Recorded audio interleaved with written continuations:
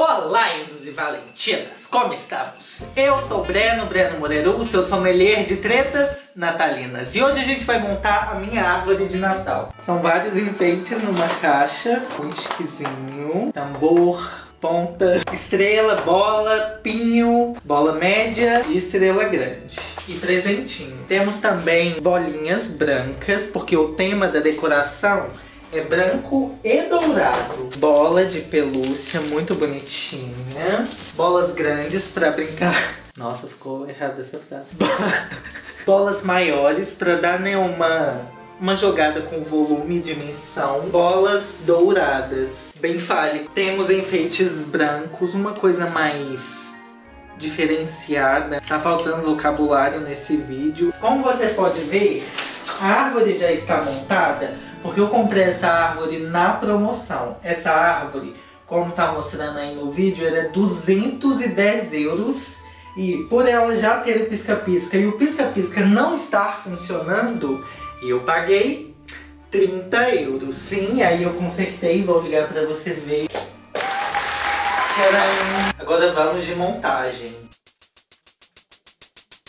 Essa árvore tem 1,80m de altura, então a quantidade de enfeites é mais ou menos 120, 150 para uma árvore média, tipo, nem muito cheia nem muito vazia, né? Porque 150 ornamentos é muita coisa. Eu não contei, mas espero que dê certo. Acho que tem uns 100 e alguma coisa.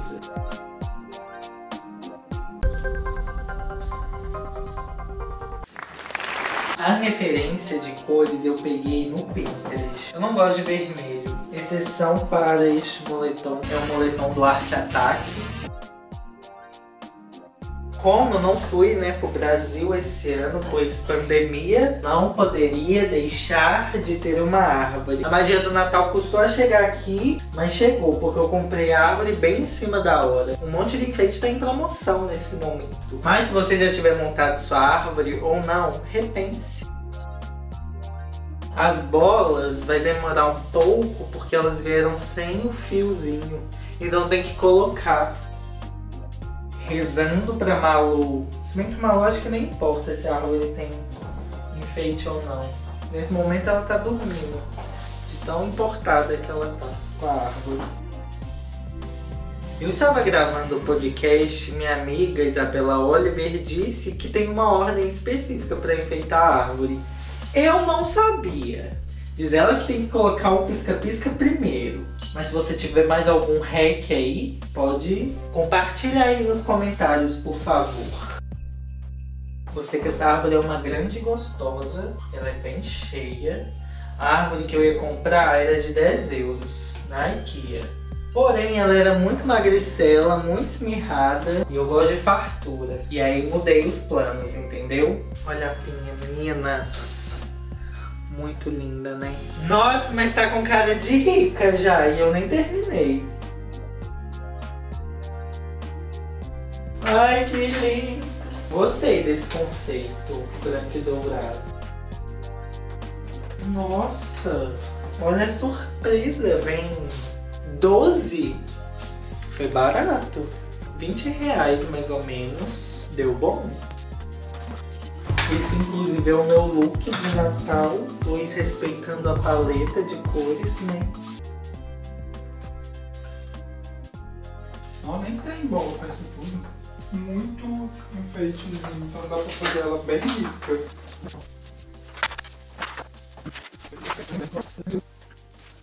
De início eu nem tava muito preocupado com ter a árvore, eu tava mais preocupado com a comida. Mas depois eu pensei assim, poxa, já assim, né, vamos fazer um Natal especial, já que esse ano tá complicado, né, porque eu não vou pro Brasil, etc.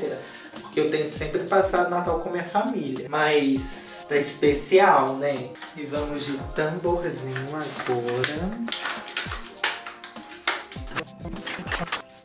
Inicialmente eu estava procurando enfeites de madeira, mas como o orçamento está apertado e eu não achei, o conceito branco e dourado vai funcionar. É obrigado a funcionar.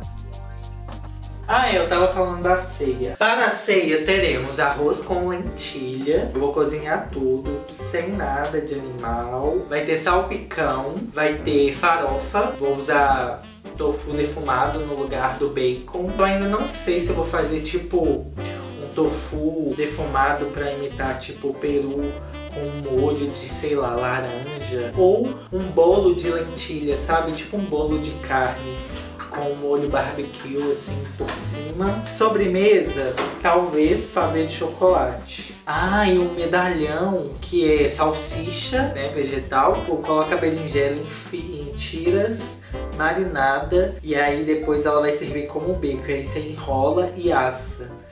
Também uma tábua de frios que vai ter torradinhas, patês, como eu vou fazer isso? Não sei, mas vai ter. E esses aqui vieram sem o negocinho de pendurar. Eu que lute, né? A magia do Natal orne aqui agora. Ai, esse enfeite é muito chique. Nunca tive um desse. Se for pensar, a árvore de Natal é tipo uma orelha, várias orelhas e vários brincos diferentes, né? Tipo, isso é muito brinco. Tudo aqui serve de brinco. Arroba Maíra Medeiros nesse vídeo, inclusive. Olha, naquela casinha com os, todos os enfeites veio... Olha a diferença de tamanho de bolas. Olha. Amei Enzos e Valentinos. Pra eu não ficar falando sozinho nesse vídeo, me conta qual a receita que você vai fazer de ceia aí na sua casa, por favor. Doce salgado. Ah, uma coisa do design que é muito usado para diagramar é triangulação. Por exemplo, tem um aqui, um aqui, então eu fecho com um aqui. Tudo bem. Esse vídeo tem conteúdo, dicas de Natal. Nossa, mas a árvore tá muito recheada. Outra coisa que eu gostei dessa árvore é que ela tem a pontinha colorida. Californianas natalinas.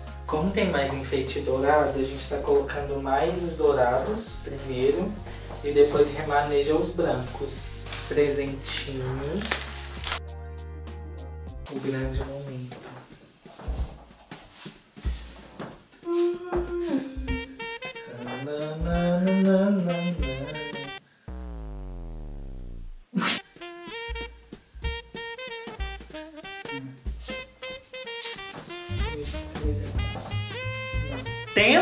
Podemos ligar.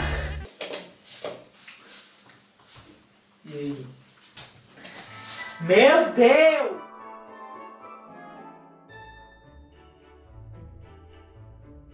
Caramba! Esse galho aqui tá... Aff.